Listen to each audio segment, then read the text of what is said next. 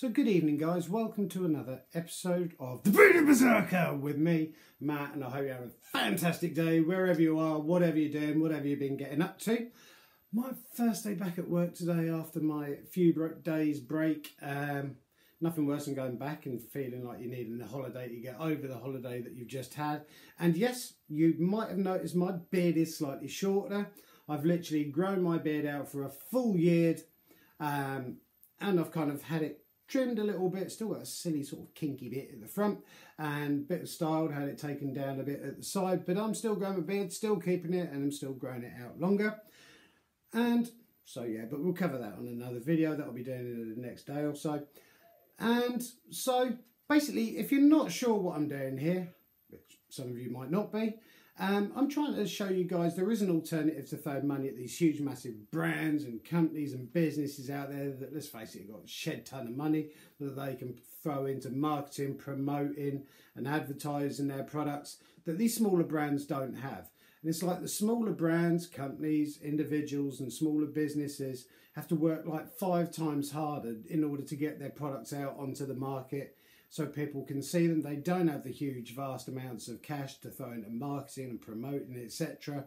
So I'm here showing you guys that there is an alternative.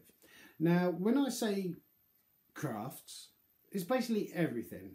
I any whether it's making beer products, skin products, hair products, t-shirts, jewelry, painting, all sorts of bits and pieces and stuff.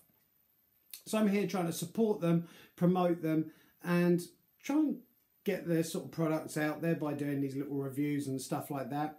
Now, with all the reviews that I am doing and have done, I'm priding myself that everything is 100% honest. It's in my own opinion. I'm not affiliated to any of the products, brands, companies, businesses, individuals whatsoever. And I will use constructive criticism if there's stuff I don't particularly like, and I will rave about it if it's something I do like. As with all the reviews that I do do, I will be putting the links down below in the description box, so please go check them out afterwards. And also, before we start, a huge, massive, massive thank you to each and every one of you out there that's helped support me and everything because I, there's no point in me doing this without you guys because this channel's not about me whatsoever. It's a, apart from me growing a beard, but it's all about the products, okay? And there's the small brands, small businesses, small companies, and individuals and even families that are making products that we need to get behind, help, and support. So, got something different tonight for you. Um, still the same white, silly polka dot mug of coffee. As you can see, I'm back in the review room tonight still in the process of tidying it up and got bits and pieces to go up and everything like that and doing up bits and pieces. But anyway, I divulge. So it was either yesterday or the day before. I think it was actually yesterday. Um, turned up in a post and it's called pyrography. Now, for those of you not entirely sure what pyrography is, which I wasn't 100% sure to start with, it's kind of a skill and an art form using almost like a soldering iron. It's got different bits that you can put on the top of it, which generates heat, in which you can burn usually wood. You know, you can mark wood by the different times that you hold it onto the wood, it darker or lighter to make it lighter and shade everything else like that. And basically, someone has sent some pyrography through to, for me to have a look at.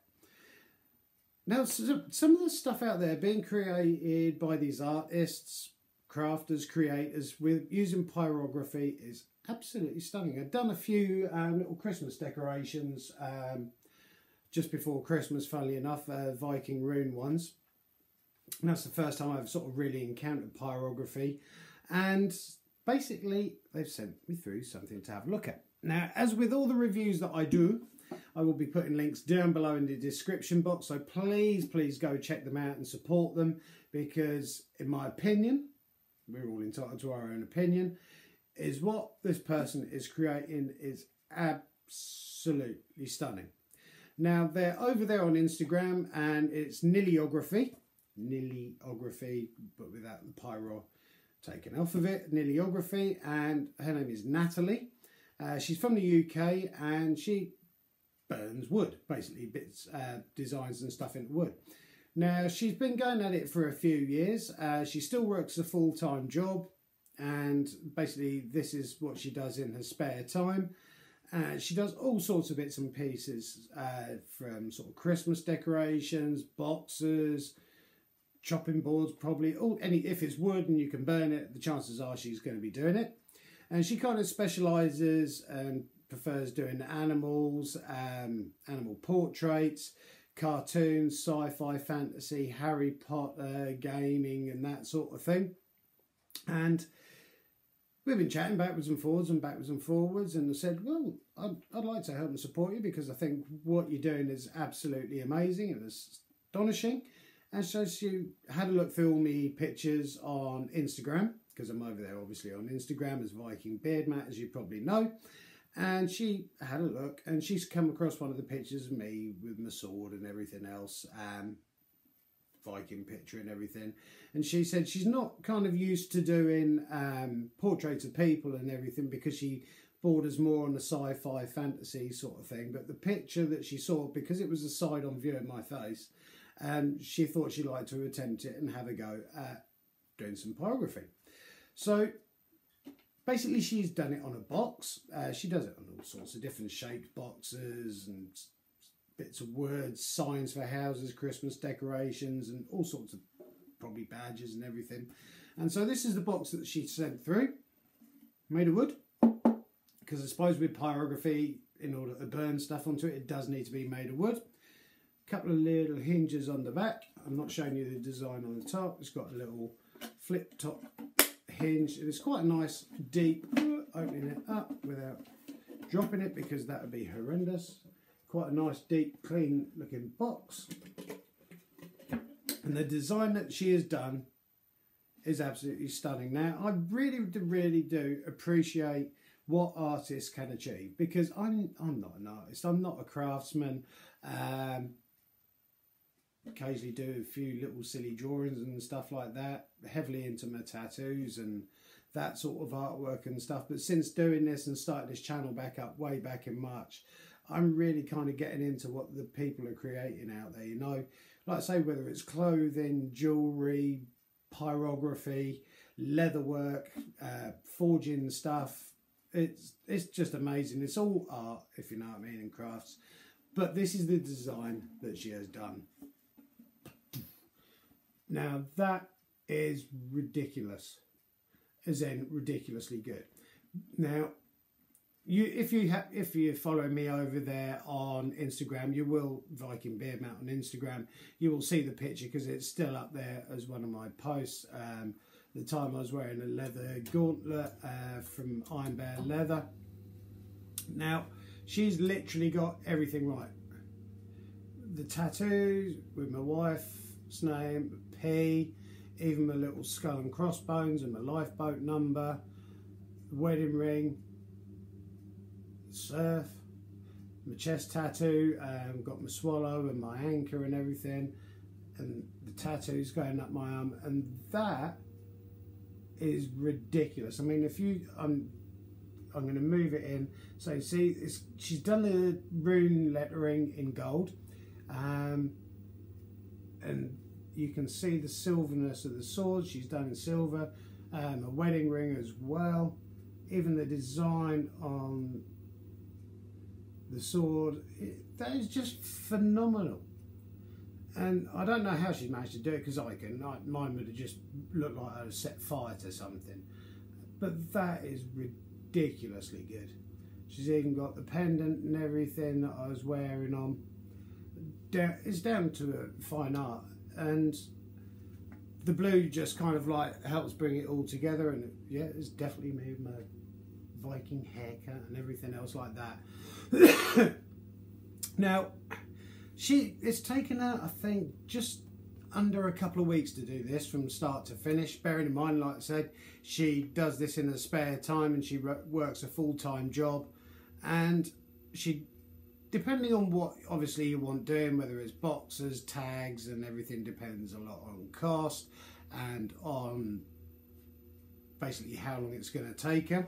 And which it was a nice touch as well. Dun, dun, dun. She sent through a letter, bless her, um, explaining what she'd done. And it's really nice when people take the time out just to write a letter to go with something. It, it shows so much passion and everything. Um, but yeah, explaining everything that she's done, and I'm just blown away by it. I'm blown away by that, and I'm going to be putting my trinkets and bits and pieces in it. And the price that she would charge, usually on a piece kind of like this, the sort of same sort of artwork, is 50 quid. Now, I know it might sound a lot, but when you think of how many hours she's put into doing that, the time, the effort, and everything to get it like that, it's a nice box, it's not jagged, it's all sanded down, no chance of any splinters or anything. It's a nice clean box as well, like I say. Open it, and it's all nice and sanded and everything in there, no sharp bits and everything, nice and soft, well finished. And the cool thing is, it's knowing for 50 quid that there is nothing else like that at all in the world or ever will be. That is just a one off bespoke piece of artwork that she has created that even if she I assume that even if she done it again it would never look the same it would be slightly different and everything else like that so 50 quid for something like that which like I say, probably one day when I die, if I choose to be cremated or something like that, my ashes might go in there, who knows? Or whether I'm just flung out to sea or just buried in a cardboard box somewhere. But that is absolutely beautiful. That is stunning.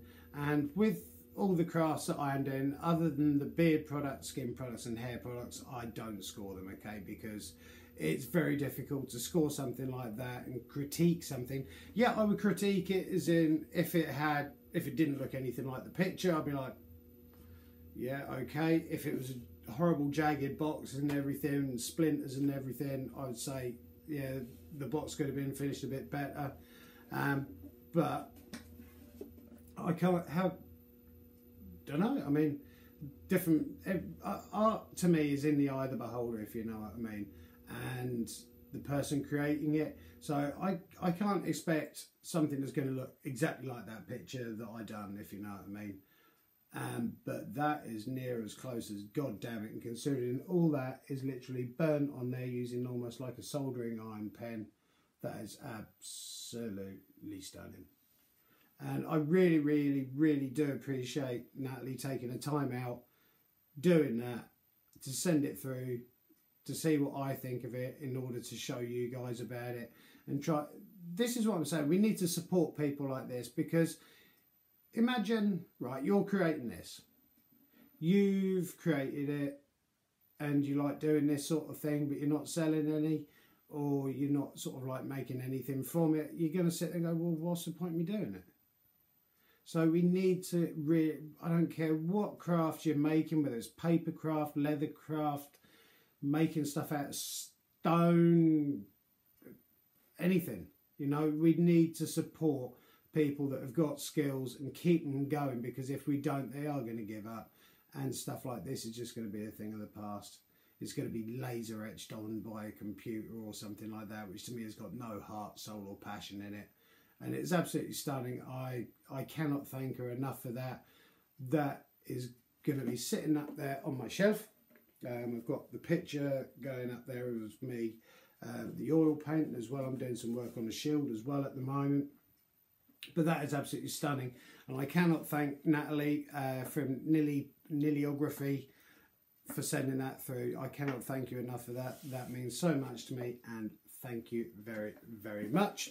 Like I say, with all of the reviews I do, I do put the links down below. So please go check now. I'm not a massive Harry Potter fan myself, to be honest. I half watched one once and then it was like, no, not my cup of tea.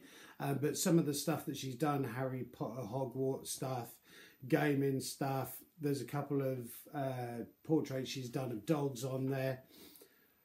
All sorts of it's Christmas sort of like decorations with lace that you can hang on your tree and stuff like that. The stuff that she's creating is absolutely stunning. Uh, there's another one as well, which is a coat of arms. Just brilliant, brilliant, brilliant work. And Natalie, please carry on doing what you're doing because when you're pumping out work like that, it's absolutely top notch. And it was a pleasure to literally open it and unbox it. And thank you very, very much. I really, really appreciate that. So, and that ends another review. She, like I say, Natalie is over, uh, Nillyography is over there on Instagram as well. So I'll put links. So go check her out. But yeah, and now I've got a couple more reviews lined up as well. Um, I'm actually going to be reviewing a couple more scents from Savage Alchemy. That's coming up over the next week or so. I've also got a new balm that's been sent through beard balm, but that's been sent through from Audacious Beard Company, and I'm doing a live one as well at some point over the next week as well. And so yeah, so I've got a few bits in the pipeline, so stay tuned. And in the live, I'm going to be talking about the beard and what I think about the cut that I had done. I've also Saturday as well, as in day after tomorrow, I'm doing another review of some tattoo stuff that's been sent through. Tattoo uh, sort of gel, um, sort of like tattoo gunk that you put on your wherever you're having your tattoos done and reviewing that. But I'm going to be having the tattoo done and recording that at the same point. And so that's going to be another review as well. So a few bits and pieces up and coming. So stay tuned. Thank you, like I say, to each and every one of you that sub, sub, subscribe to my channel, watching my reviews, liking what I'm doing. I really do appreciate it because, like I said, this is not about me. This is about people out there with talent that are making some amazing things that we need to get behind and support. So thank you guys for that. Keep on taking care of each other. Keep on looking after each other. Keep on loving each other. Keep on growing those beards if you're growing a beard. I'll look forward to seeing you in the next episode of The Bearded Berserker. Have a great evening, guys. Thank you.